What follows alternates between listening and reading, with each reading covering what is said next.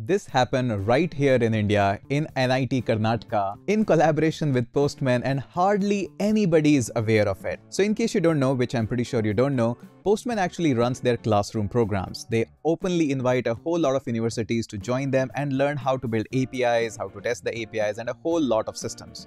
Now, Here's an interesting article in the Postman blogs. It says that NIT Karnataka recently built Iris, what is IRIS? IRIS is an ERP system designed to streamline the operations of entire NIT Karnataka. Yes, their student built the whole process and whole system. And they just didn't do the small stuff. They worked on admission, courses registration, hostel allotment, co-curricular activities, convocation, alumni ins instruction.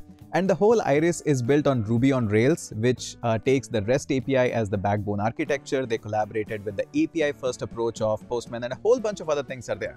And here you are just worried about should I learn Python or JavaScript? Should I do development or DSA?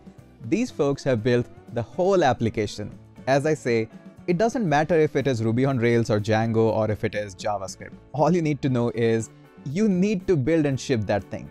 I think you should also check out this blog on the Postman about the whole entire journey of building the Iris. It happened right here in NIT Karnataka, so give it a read and now just focus on shipping the product that you are building up.